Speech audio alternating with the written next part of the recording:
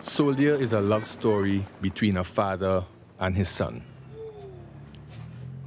It's about the type of love we naturally feel for our children, but it's also about the love that, that we have to cultivate just to cope with the challenges of having a child with special needs, especially one who is on the severe spectrum of disabilities.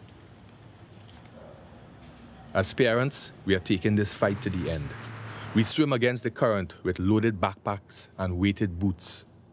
But telling you what that is like is still an abstract for you and for other persons who don't have special needs.